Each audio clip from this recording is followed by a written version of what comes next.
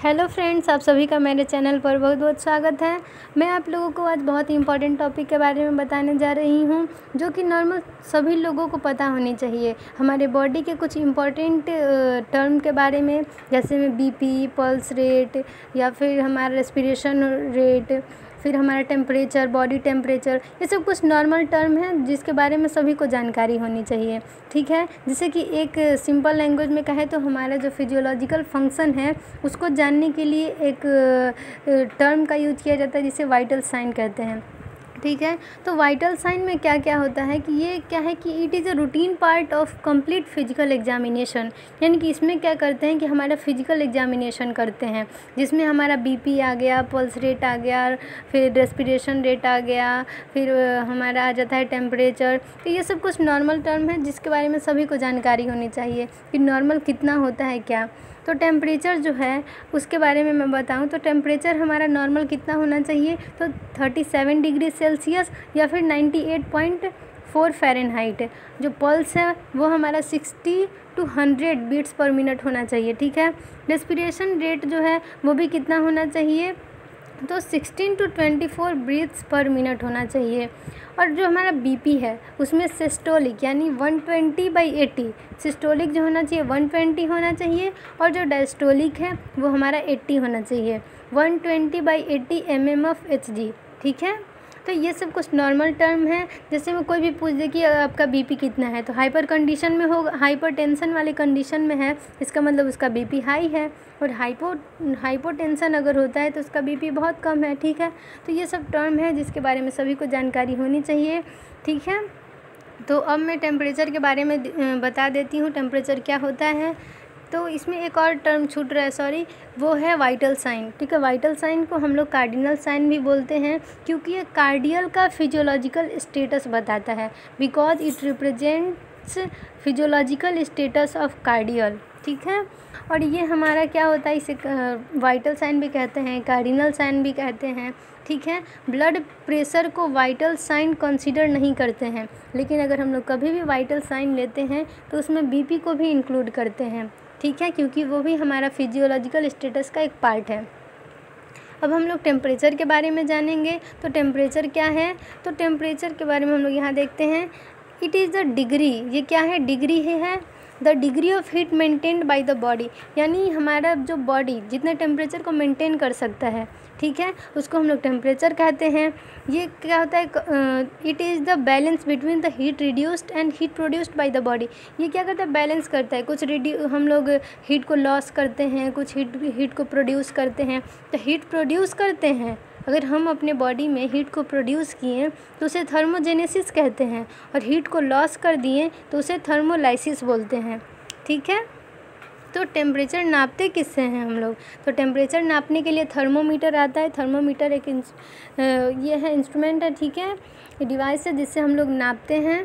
अब क्या है कि बॉडी टेम्परेचर को हम लोग दो प्रकार से नापते हैं, ठीक है? दो प्रकार उसका है मतलब बॉडी टेम्परेचर का two kinds of body temperature at there first है कोर टेम्परेचर जिसमें क्या कहते हैं कि हमारे इंटरनल ऑर्गन्स का टेम्परेचर यानी हमारा जो इंटरनल फिजियोलॉजी है इंटरनल जो पार्ट है, उसको इंडिकेट करता है ये इंटरनल फिजियोलॉजी को इंडिकेट करता है, ये हमेशा कांस्टेंट रहता है, जो कि थर्टी सेवन डिग्री सेल्सियस होना चाहिए।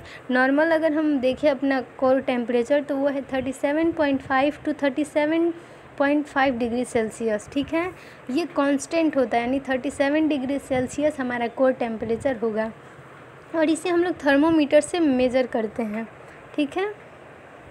अब ये दूसरा पहला टाइप हो गया टेम्परेचर का क्या?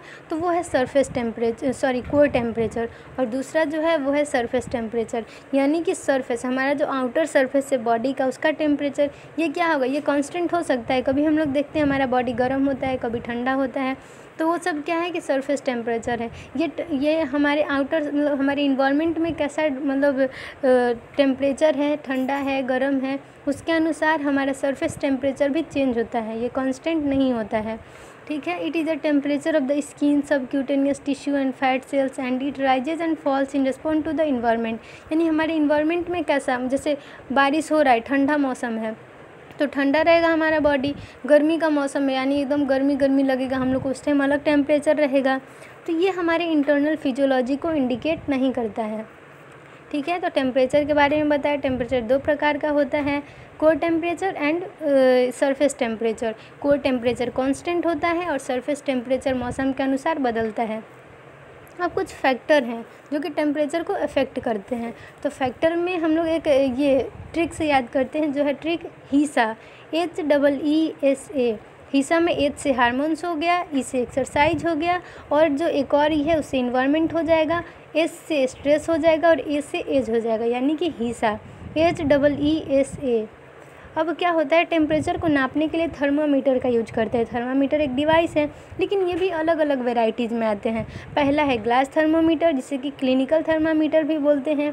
दूसरा है इलेक्ट्रॉनिक थर्मामीटर तीसरा है disposable thermometer and fourth one है टिम्पेनिक थर्मामीटर ठीक है? तो क्या है यहाँ पे कि हम लोग जो देख रहे हैं कि पहला है ग्लास थर्मोमीटर तो ग्लास थर्मोमीटर में क्या है? कि ये ग्लास का बना होता है मरकरी ग्लास का होता है, ठीक है? Mercury glass thermometer is use for measuring oral rectal and axillary temperature यानी कि क्या? माउथ से भी हम लोग टेम्परेचर ले सकते हैं ओरली रेक्टल हो गया जेनाइटल एरिया फिर हो गया एक्जिलरी यानी हमारे जो बाजू है, वहाँ पे भी हम लोग लेते हैं टेम्परेचर ग्लास थर्मोमीटर से लगभग दो से आठ मिनट में ही एक्यूरेट रिज़ल्ट आ जाता है। यानी हम लोग अपना बॉडी का टेम्परेचर पता चल जाएगा, दो से आठ मिनट में। दूसरा है इलेक्ट्रॉनिक थर्मोमीटर तो इस, ये भी नॉर्मल वैसे ही है कि ओरल एक्जिलरी रेक्टल यही टेम्परेचर को नापने के लिए हम लोग यूज़ करते हैं। ओरल एक्जिलरी रेक्टल ये तीनों चीज़ याद कर लीजिए। यही तीनों का हम लोग टेम्परेचर नापने के लिए अलग अलग तरह का थर्मामीटर यूज़ में ला रहे हैं। ठीक है? ये जो इलेक्ट्रॉनिक थर्मामीटर है, वो दो मिनट से लेकर तीस सेकेंड तक हमारा जो है एक्यूरेट रीडिंग दे देगा, यानी कि टेम्परेचर बता देगा। फिर है डिस्पोजेबल थर्मामीटर यानी कि एक केमिकल थर्मामीटर है। इसमें कुछ केमिकल्स होते हैं जो कि जितने स्पेसिफिक टेम्परेचर वहाँ पे फिक्स है, कितना टेम्परेचर आएगा, उसके बाद उसका कलर चेंज हो जाएगा, उसके बाद उसको हम लोग दोबारा यूज़ में नहीं ला सकते हैं, यानी कि वो डिस्पोजेबल है, उसको फेंकना पड़ेगा। ये कितना है कि बहुत ही कम टाइम में हम लोग को टेम्परेचर बता देता है रीडिंग बता देता है, जो कि वन मिनट है, ठीक है? सिक्सटी सेकेंड में ये हम लोगों को रिज़ल्ट दे देगा। Disposable thermometer. केमिकल थर्मोमीटर भी बोलते हैं इसे। चौथा है हमारा टिम्पेनिक थर्मोमीटर। टिम्पेनिक में इसका ईयर ईयर से कनेक्टेड है ये। तो इसमें क्या होता है कि ईयर का टेम्परेचर, यानी हमारे कान का टेम्परेचर जानना है हम लोगों को तो क्या होता है कि टिम्पेनिक थर्मोमीटर का यूज़ करते हैं। ठीक है? तो देखिए, यहाँ पे है ना, टिम्पेनिक थर्मोमीटर यहाँ पे कान में लगाया हुआ है। ठीक है? तो ये है टिम्पेनिक थर्मोमीटर। अब क्या है हमारा कि टिम्पेनिक थर्मोमीटर जो है वो दो से तीन सेकंड में एक्यूरेट रीडिंग दे देता है। उसके बाद क्या है कि हमारे नॉर्मल बॉडी टेम्परेचर कितना है? ठीक है एडल्ट में कितना होना चाहिए? ओरली कितना होना चाहिए? एक्जिलरी कितना होना चाहिए? रेक्टल कितना होना चाहिए? तो सबसे ज़्यादा जो टेम्परेचर है वो रेक्टल में शो होता है और सबसे कम जो है वो एक्जिलरी में शो होता है। ये याद रखिएगा। देखिए तो ओरली यदि हम लोग कान से टिम्पेनिक या फिर ओरली अगर हम लोग टेम्परेचर को नापते हैं तो उसमें सेल्सियस में लें तो थर्टी सेवन डिग्री सेल्सियस और फ़ारेनहाइट में लें तो ninety eight point six Fahrenheit आता है, ठीक है? Ninety eight point six Fahrenheit और थर्टी सेवन डिग्री सेल्सियस और अगर रेक्टल देखें तो thirty seven point six degree Celsius और फ़ारेनहाइट में देखें तो ninety nine point six degree Celsius तो थर्टी सेवन पॉइंट सिक्स और नाइन्टी नाइन पॉइंट सिक्स अब हमारे एक्जिलरी में देखें तो उसमें क्या है कि थर्टी सिक्स पॉइंट फाइव और नाइन्टी सेवन पॉइंट सिक्स हो गया। ठीक है? तो ये टेम्परेचर जो है एक्जिलरी का है और ये रेक्टल का हुआ और ये है हमारा